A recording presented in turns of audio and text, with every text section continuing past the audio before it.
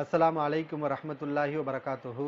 அன்பான சகோதரர்களே பள்ளிவாசலில் ஒருவர் இமாமாக நியமிக்கப்பட்டிருக்கும் போது இறந்தவரை பள்ளிவாசலுக்கு கொண்டு வந்து பள்ளிவாசல் இமாமை தொலை வைக்க விடாமல் உறவினர்கள் தான் தொலை வைப்போம் என்று சொல்லக்கூடியவர்கள் இந்த நிலைப்பாட்டுக்கு பல்வேறு விஷயங்களை ஆதாரமாக சொல்கிறாங்க அவங்க சொல்லக்கூடிய விஷயங்கள் உண்மையில் ஆதாரபூர்வமானதா அதிலே அவர்களுடைய நிலைப்பாட்டுக்கு ஆதாரம் இருக்கிறதா என்பதை இந்த வீடியோவில் அறிந்து கொள்வோம். இவர்கள் தங்களுடைய நிலைப்பாட்டுக்கு சஹீஹுல் புகாரியில் பதிவு செய்யப்பட்ட ஆயிரத்தி இருநூற்றி அறுபத்தி ஒன்பதாவது அதிசை மேற்கோள் காட்டுகிறார்கள். இதுல அப்துல்லா இபுனு உபை இபுனு சலூல் என்ற முனாஃபிக் ஒருவன் மரணிக்கின்றான். அவனுடைய மகன் முஸ்லிம். அவர் ஒரு நல்ல சிறந்த மனிதர். அவர் நபிசல்லா உலைவசல்லம் அவர்களிடத்தில் வந்து அல்லாஹ்வின் தூதர் அவர்களே என்னுடைய தந்தை இறந்து விட்டார் அவருக்காக நீங்கள் தொலைவையுங்கள் அப்படின்னு சொல்றாங்க. உங்கள் ஆடையை கொடுங்க. அதில் நான் அவருக்கு கஃனிடுகிறேன் அவருக்காக நீங்கள் தொலை வையுங்கள். அவருக்காக நீங்கள் பாவ மன்னிப்பு தேடுங்கள் என்று மகனார் தந்தைக்காக இவ்வாறு பேசுகிறார். அப்போது நபிசல்லா உலைவ செல்லம் அவர்கள் அவருக்கு ஆடையை கொடுத்தாங்களாம். இவங்க வாசிக்கிறது. எப்படி வாசிக்கிறாங்க? நபிசல்லாசங்க அவருக்கு ஆடையை கொடுத்தாங்க. கொடுத்துட்டு சொன்னாங்களா? ஆதின்னி உ சல்லி அழகி எனக்கு அனுமதி கூட நான் தொலை வைக்கிறேன். மகனார் வந்து ஏற்கனவே வந்து தொழுவுங்கன்னு சொல்லிட்டார். தொலை வைங்கன்னு சொல்லிட்டார். சொன்னதுக்கு அப்புறமும் நபிசல்லாசவங்க அந்த மகனார்கிட்ட போய் ஆதின்னி உ சல்லி அழகி உங்கள் வாப்பாவுக்கு தொலை வைக்க எனக்கு அனுமதி கொடு நான் அவருக்கு தொலை வைக்கிறேன். அப்படின்னு நபிசல்லாசவங்க அனுமதி கேட்டாங்க. ஆதனஹு. அவரும் நபிசல்லாசவங்க அனுமதி கொடுத்தார். அப்போ நபிசல்லாசவங்க எவ்வளவு பெரிய மிகப்பெரிய ஆட்சியாளர் மன்னர் இமாமுக்கெல்லாம் மிகப்பெரிய இமாம். அந்த இமாமே ஒரு மனிதர் வந்து எங்கள் வாப்பாவுக்கு தொலை வைங்கன்னு சொன்னதுக்கு அப்புறமும் எனக்கு அனுமதி கொடுங்க நான் தொலை வைக்கிறேன்னு கேட்டுதானே தொலை வச்சாங்க. அப்ப இது தெளிவான ஆதாரம் என்று அவங்க சொல்றாங்க. இவங்க எவ்வளவு பெரிய அறியாமையில இருக்கிறாங்க இதை நம்ம புரிஞ்சுக்கிறணும் அவங்க பேசுற மாதிரி பேசுறதா இருந்தா எப்படியும் பேசலாம் இந்த ஒரு விஷயத்தை வச்சுக்கிட்டு. நான் முஸ்லீம்ல உள்ள அதிச புகாரில இருக்குன்னு சொன்னதுக்காக அதை ஒரு குற்றமாக பேசியவர்கள் அப்ப இது எவ்வளவு பெரிய தப்பு செஞ்சிருக்கிறாங்க? ஆதாரமா காட்டுற விஷயம்னு வரும்போது அதை சரியா ஆதாரம் காட்டணுமா இல்லையா? சரியான அர்த்தங்கள் கொடுக்கணுமா இல்லையா? இந்த வார்த்தைக்கு என்ன அர்த்தம்? ஆதி நீ. எனக்கு அனுமதி கொடுன்னு அர்த்தமா? ஆதனஹு. நபி அவர்களுக்கு அவர் அனுமதி கொடுத்தார். அப்படின்னு அர்த்தமா? ஆதனனா அனுமதி கொடுக்கறதுன்னு அர்த்தமா? ஆதின்னி என்றால் அனுமதி கொடுக்கறதுன்னு அர்த்தமா? இந்த ஹதீஸ் புகாரியில் இருக்குதுங்க. ஆயிரத்தி இரநூத்தி அறுபத்தொம்போது நீங்கள் அதனுடைய மொழிபெயர்ப்பு எல்லாத்தையும் எடுத்து பாருங்க. யாராவது ஒரு ஆளாவது நபிசல்லாசன் அவர்கிட்ட போய் அனுமதி கேட்டாங்க. அவரும் நபி அவர்களுக்கு அனுமதி கொடுத்தாரு. இப்படி மொழிபெயர்த்திருக்காங்களா? யாருமே மொழிபெயர்க்கலைங்க. அல்லது அரபு படித்தவங்ககிட்ட யார்ட்டையாவது போய் கேளுங்க. அவன் முஸ்லீமா இல்லாமல் ஒரு காஃபியராக இருக்கிறான். அவன்கிட்ட போய் கூட கேளுங்க. என்ன? இந்த ஆதன ஆதனங்கிறதுக்கு என்ன அர்த்தம்? அனுமதி கொடுன்னு அப்படின்னு அர்த்தமா? அல்லது அறிவிப்பு செய் எனக்கு தகவல் கொடுன்னு அர்த்தமா? என்ன அர்த்தம்? அனுமதி கொடுன்னு அர்த்தமே இல்லைங்க. அதுக்குரிய வார்த்தை வேற இருக்கு. என்ன? குரான்லையும் பல இடங்கள்ல வருது. ஹதீஸுகள்லையும் வந்திருக்கு. எதல்லி எனக்கு அனுமதி கொடு. ஆதின்னின்னு வராது. எனக்கு அனுமதி கொடு என்றால் எதன்லி எனக்கு அனுமதி கொடு. இதன் என்ற வார்த்தை வரும். ஆனால் இங்கே இதன்கிற வார்த்தை இல்லை. என்னது? ஆதின்னி என்ற வார்த்தை தான் இருக்குது. அப்போ இதனுடைய நேரடி அர்த்தம் எல்லா அரபு படித்தவங்க இந்த ஆளுக்கு அரபுவே தெரியலை. அப்போ என்னென்னா ஆதின்னி என்றால் எனக்கு தகவல் கொடு. அதான் இங்கேயும் பொருத்தமாக இருக்குது ஏன்னா நபிசல்லாஸ் அவங்ககிட்ட அவர் வந்து எனக்கு தொலை நபி என்னுடைய தந்தைக்காக தொலை வையுங்கள் என்று அவங்க சொல்கிறாங்க ஆடையை வாங்கிட்டு போகிறாங்க நான் கஃன் இடுகிறேன் என்று ஆடையை வாங்கிட்டு போகிறார் அப்போ நபிசல்லாஸ் அவங்க சொல்கிறாங்கன்னா அனுமதி கொடுங்கன்னா கேட்பாங்க. ஏற்கனவே அனுமதி கொடுத்தாச்சே. அப்போ இங்கே என்ன அர்த்தம்? இங்கே என்னன்னு பார்த்தீங்கன்னா எனக்கு தகவல் கொடு. ஏன்னா நீ கஃனிட போற. உன்னுடைய தந்தையை என்கிட்ட இருந்து ஆடையை வாங்கி நீ கஃனிடக்கூடிய வேலையை செய்ய போற. நீ கஃனிடக்கூடிய வேலையெல்லாம் முடிச்சுட்டேன்னா எனக்கு தகவல் கொடு. அப்போ வந்து நான் தொலை வைக்கிறேன். தகவல் கொடுன்னு சொன்னதை அனுமதி கூடுன்னு ஆக்கி இந்த தப்பான நிலைப்பாட்டுக்கு ஆதாரமாக்கி பள்ளிவாசலில் போய் சண்டை பிடிக்கிறதுக்கு இதை ஆதாரமாக காட்டுறாங்க. அப்போ இது எவ்வளோ பெரிய அறியாமைங்கிறத தெரிஞ்சுக்கிறணும். இரண்டாவது செய்தி இவங்க ஆதாரமாக காட்டக்கூடிய விஷயம் புகாரியில் பதிவு செய்யப்பட்டிருக்கு. பள்ளிவாசலை ஒரு பெண்மணி கூட்டக்கூடியவளாக சுத்தம் செய்யக்கூடிய பெண்ணாக இருந்தார்கள். அவர்கள் மரணித்தவுடன் சஹாபாக்கள் நபிசல்லாஸ் அவங்களுக்கு சொல்லாமல் அவரை கொண்டு போய் அடக்கம் பண்ணிட்டாங்க. இந்த செய்தி. இதே மாதிரி நபிசல்லாசனுடைய காலத்தில் ஒரு மனிதர் நோய்வாய்ப்பட்டிருந்தார். நபி அவர்கள் அவரை போய் நலம் விசாரிச்சாங்க. பிறகு அவரும் மரணித்தார்.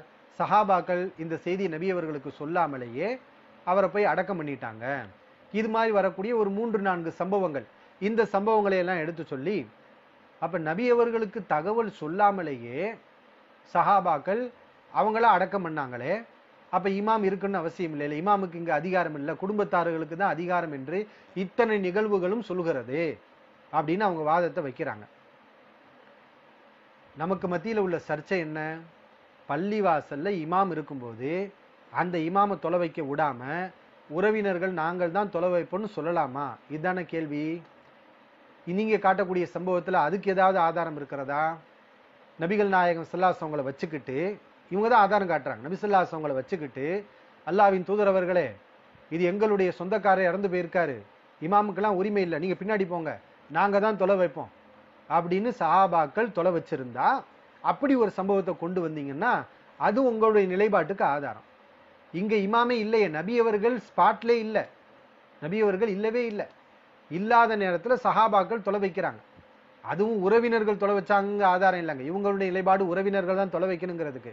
நீங்கள் காட்டின செய்தியில் சஹாபாக்கள் தொலை வச்சாங்கன்னு தான் இருக்குது. உறவினர்கள் தொலை வச்சாங்கன்னு இருக்குதா? அது பள்ளிவாசலில் தொலை வச்சாங்கன்னு இருக்குதா? இமாம் இருக்கும்போது இமாமை தள்ளி விட்டுட்டு உரிமை இல்லை நீ போ வெளியே போ அல்லது பின்னாடி போ நான் தான் தொலை வைப்பேன்னு உறவினர்கள் முந்தி கொண்டு வந்து தொலை வச்சாங்கங்கிற அதுக்கு ஆதாரம் இருக்குதான்னு கேட்டால் ஏதாவது சம்பந்தம் இருக்குதா? இந்த செய்திக்கும் இந்த வாதத்துக்கும் சம்பந்தம் இருக்குதா? எந்த சம்பந்தமும் கிடையாதுங்க. மாறாக இது இவர்களுக்கு எதிரான ஒரு நிலைப்பாட்டை தான் சொல்லுது. என்ன எதிரான ஒரு நிலைப்பாடு? அந்த சம்பவத்தை முழுசா நீங்க பாருங்க. இந்த மாதிரி நபி அவர்களுக்கு சொல்லாம போய் அடக்கம் பண்ணிடுறாங்க. அப்ப நபிசல்லாஸ் அவங்க என்ன கேட்குறாங்கன்னா மா மனாக்கும் அன் தொழிலிமூனி எனக்கு தகவல் கொடுக்க உங்களுக்கு என்ன தடை? ஏன் நீங்கள் எனக்கு தகவல் கொடு எனக்கு சொல்லாமல் நீங்கள் ஏன் அடக்கம் பண்ணீங்க? என்று நபிசல்லா சொங்க கேட்குறாங்க இப்போ உறவினர்களுக்கு தான் உரிமை இருக்குது நபிக்கே உரிமை இல்லைன்னு சொன்னால் நபிக்கே உரிமை இல்லை உறவினர்களுக்கு தான் உரிமை இருக்குன்னா நபி இந்த கேள்வியை கேட்பாங்களா? எனக்கு சொல்லாமல் ஏன் நீ இதை அடக்கம் பண்ண? அப்படின்ட்டு கேட்பாங்களா நபிசல்லா சொங்க சொல்லுங்க நபி அவர்கள் அப்படி கேட்பாங்களா? சரி அப்படி கேட்டால் சாபாக்கள் என்ன சொல்லியிருப்பாங்க? உங்களுக்கு எதுக்கு நாங்கள் சொல்லணும்? உறவினர்களாக எங்களுக்கு தானே உரிமை இருக்குது?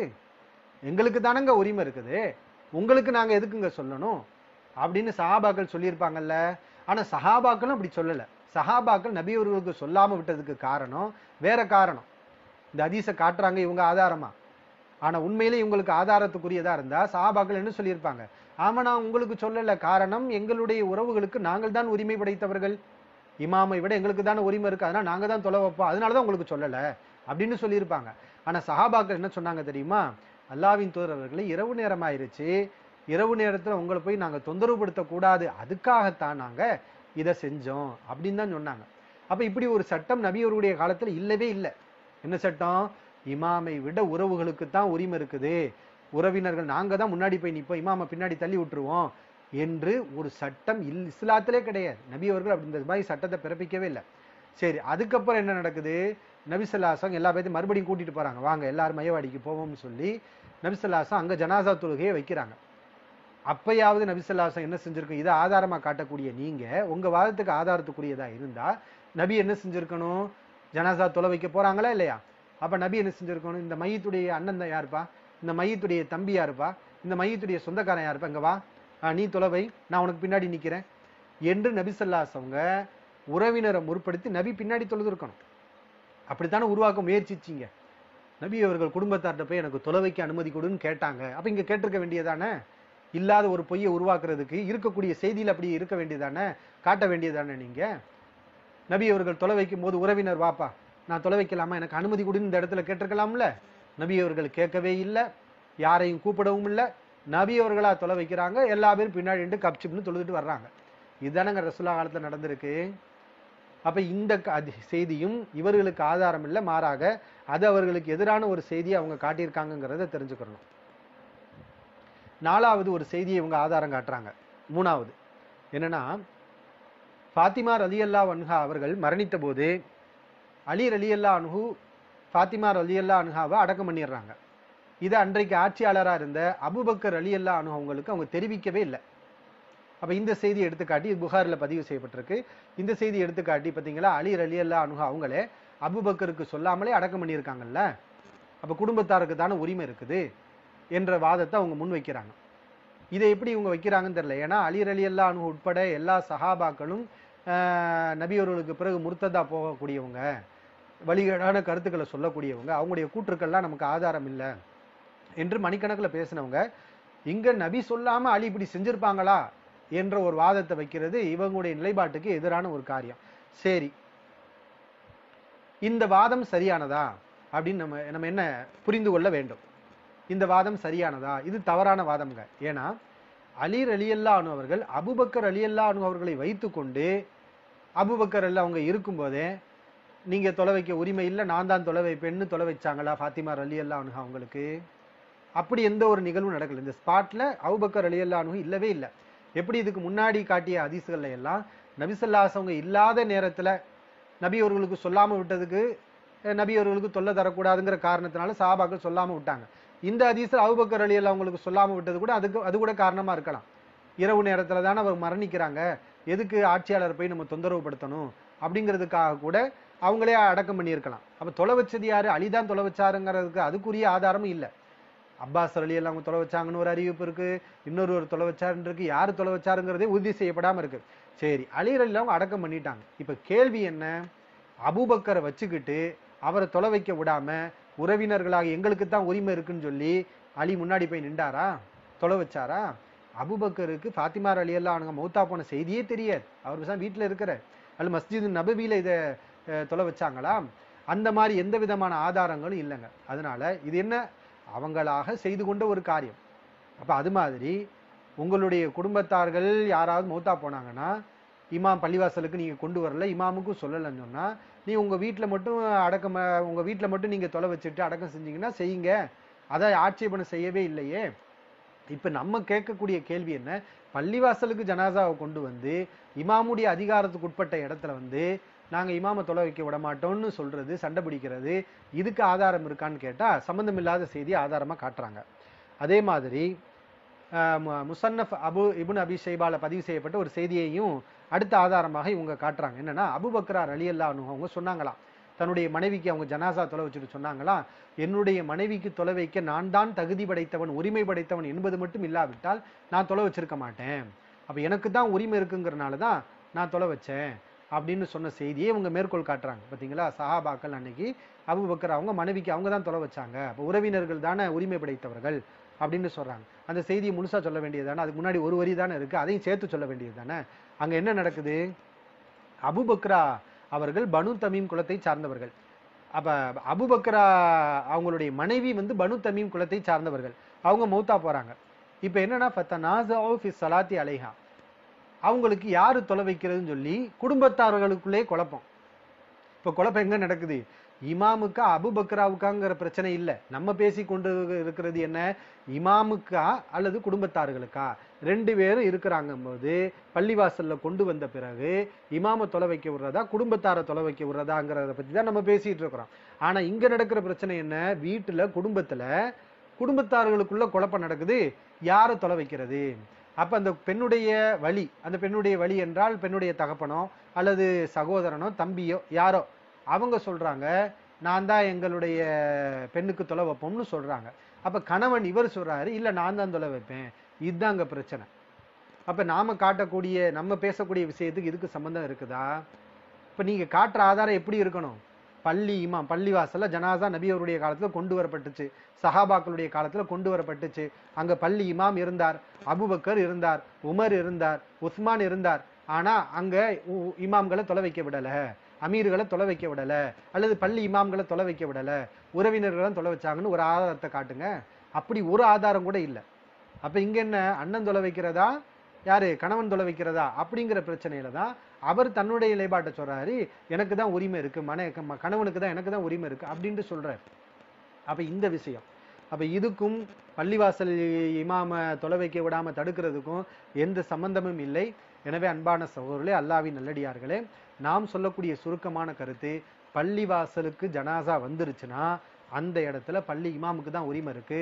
அங்க உறவினர்கள் நாங்க தான் தொலை வைப்போம்னு சண்டை பிடிக்க கூடாது. இது ஹதீஸுக்கு எதிரான காரியம். இப்படி உரிமை கொண்டாடுவதற்கு யாருக்கும் எந்த உரிமையும் இல்லை. நபி அவர்கள் எந்த உரிமை என்ன செய்யல? வழங்கவில்லை என்பதை புரிஞ்சுக்கிறணும். அது மாதிரி சில தேவையில்லாத சந்தேகங்கள் குழப்பங்களை ஏற்படுத்தி இருக்கிறாங்க. என்னன்னா அப்ப இணை வைக்கக்கூடிய இமாமுக்கு பின்னாடி நின்று தொழுகலாமா அப்படின்னு கேட்கறாங்க இது வந்து நம்ம நம்ம சொல்றது முறையான இமாம் இப்படி இருந்தால் இவ்வாறு நாம் நடந்து கொள்ளணுங்கிற சட்டத்தை நம்ம சொல்லியிருக்கிறோம். ஒரு இமாம் இணை வைக்கக்கூடியவரா இல்லையா? அந்த இணை வைக்கக்கூடியவர் என்பதை எப்படி முடிவு செய்யணும்? அதை நம்ம எடுத்த உடனே முடிவு செய்யலாமா? அதை நம்ம விரிவாக விளக்கங்களோடு அறிந்து கொள்ள வேண்டிய விஷயம். ஒரு பேச்சுக்கு ஒரு இமாம் இணை வைக்கக்கூடியவராகத்தான் இருக்கிறார். அது ஆதாரங்களோட உறுதி செய்யப்பட்ட ஒரு விஷயமா இருந்தால் அந்த நேரத்தில் அவரை பின்பற்றி நம்ம தொழுக முடியாதுங்கிறத நாம் புரிஞ்சுக்கணும். அதையும் இங்கே நாம் தெளிவுபடுத்திக் கொள்கிறோம். அதே மாதிரி நம்ம மேலே ஒரு குற்றச்சாட்டை வைக்கிறாங்க. இந்த ஒரு சட்டத்தை சொல்றதுனால இவர் சுன்ன ஜமாத்துக்கு ஆதரவாக பேசுறாரு. சுன்ன ஜமாத்தில் பணம் வாங்கிட்டாரு. அவங்களோட போய் சேர இவருக்கு பண நோய் பிடிச்சிருக்கு இந்த ஆட்களுக்கு. ஏன்னா எந்த ஒரு விஷயத்தை பேசினாலும் ஒன்று டிஎன்டிஜேட்ட பணம் வாங்கிட்டேன்னு கத்துறது அல்லது என்னது சலஃபுகளோட நம்ம பணம் வாங்கிட்டோன்னு சொல்றது அல்லது இப்போ என்னது சுன்ன ஜமாத் அப்போ எல்லா உலகத்தில் இவங்களை தவிர எல்லா கிட்டையும் நம்ம பணம் வாங்கியாச்சுங்கிற மாதிரி ஒரு பண நோய் பிடிச்சி இப்படி பேசி கொண்டு இருப்பதை பார்க்குறோம். இந்த விஷயத்தை நம்ம சுன்ன ஜமாத்துக்காண்டி பேசினோமா இது எல்லோருக்கும் உள்ள விஷயம். டிஎன்டிஜேல உள்ள இமாம்களுக்கும் சேர்ந்த ஒரு விஷயத்தை தான் நம்ம பேசுறோம். ஏன் இந்த கருத்தை சொல்றாங்களே என்டிஎஃப் அவங்களுடைய நிலைப்பாட்டுக்கும் அவங்களுடைய இமாம்களுக்கும் பொருந்தக்கூடிய ஒரு விஷயம். பொதுவாக இமாம் என்று யார் வந்தாலும் அந்த இமாம் இடத்துல நடந்து கொள்ள வேண்டிய முறை என்ன அவருக்குரிய அதிகாரம் என்ன அதை பத்தி தான் நம்ம பேசிட்டு இருக்கிறோம். இது சுன்ன ஜமாத்துக்கு ஆதரவுங்கிற ஒரு நிலையெல்லாம் கிடையாது. அதை இந்த இடத்துல நான் உங்களுக்கு தெளிவாக்கி கொண்டு என்னுடைய இந்த விளக்கத்தை நான் நிறைவு செய்கிறேன். وآخر دعوانا الحمد لله رب العالمين. السلام عليكم ورحمة الله وبركاته.